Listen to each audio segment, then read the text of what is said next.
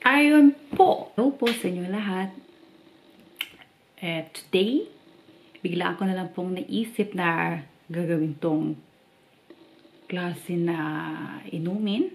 Or tawag, tinatawag nilang, ano ba ito, iced coffee. Hindi ako narin sa iced coffee, pero biglaan ko lang to siyang naisip kasi nakikita ko siya sa mga YouTube vlogger, parang naging ano siya, trendy siya na iced coffee. Tapos napakadaling gawin niya po talaga. As in super, super, super dali po talaga siya. Tapos ano siya, yung uh, hindi ka hindi ka talaga mapapagod niya eh. Parang na siyang Starbucks coffee or parang ano, inom ka sa mga summer coffee shop, yung mga frappuccino, yung mga frappes, yung mga ganun-ganun. May similarity siya. Pero ito nga lang, yung version na murang version na magagawa mo sa bahay.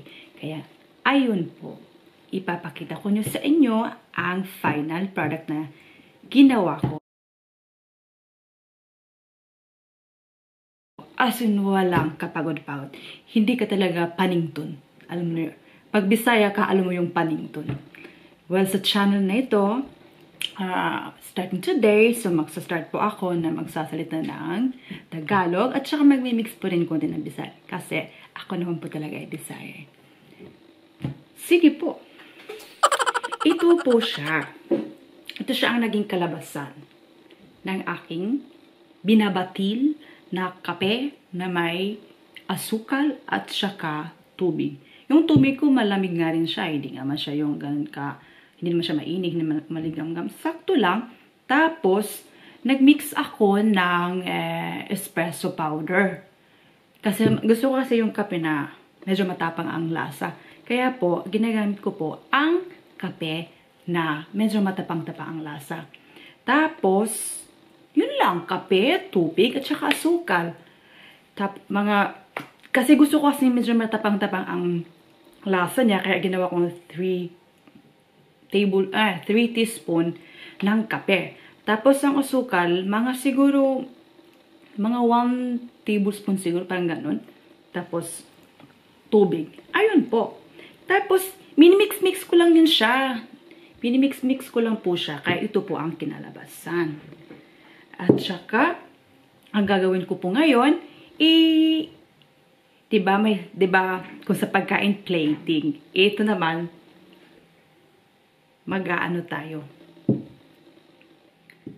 Mag-glass sitting. Ay, tama yun? eh, ilalagay ko na po siya dito sa, sa milk ko, malamig na gatas.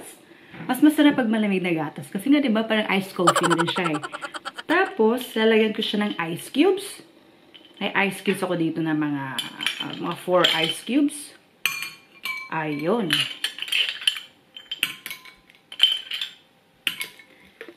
Tapos, ano po?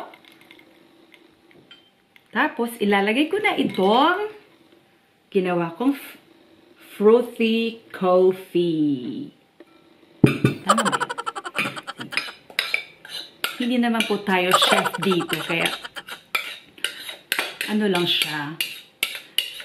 Pinag-iistabihan ko lang nakita ko sa mga nag-YouTube vlogger. Ah, ano ba yan? Sa mga nag- YouTubing. Sa mga nagva-vlog tungkol sa drink na to.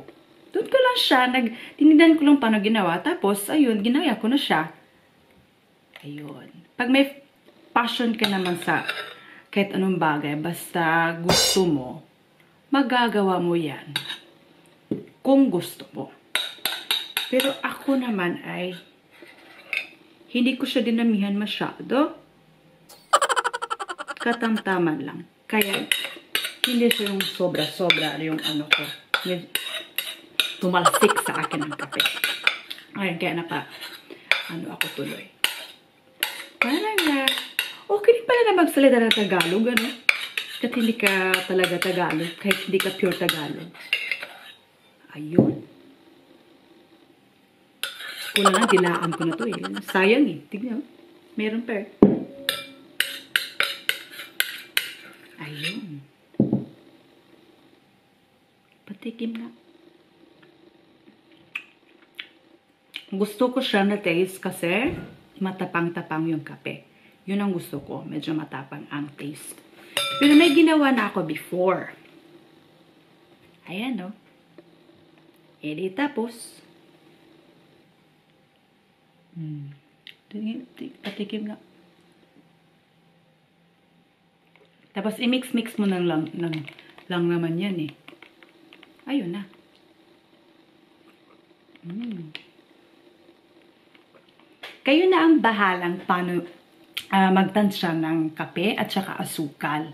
Kasi gusto naman naman ng medyo matamis-tamis, so dadagan niyo siya ng asukal. Gusto niyo naman ng ah, medyo matapang-tapang ang lasa ng kape, di lagyan niyo ng konti ng, ng kape. Kasi nag-ano talaga siya, yung mixture ng kape, tubig at saka asukal, hindi ka naman matatakot nun kung, kung, kung feeling niyo parang mag-feel ang, ang ah, ginagawa niyo. Kasi kusa talaga siya nag-stick together eh. Kasi gawa to ng asukal. Ang asukal ang nagpapa, ano niya, nagpapa ah, fluffy, na parang nag, nag umaalsa siya.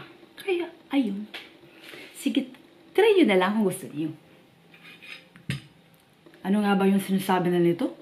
Dragonal coffee? Nay, no! Ay, hindi pala. Ang tawag ulit. Eh, sige, i-google na lang natin.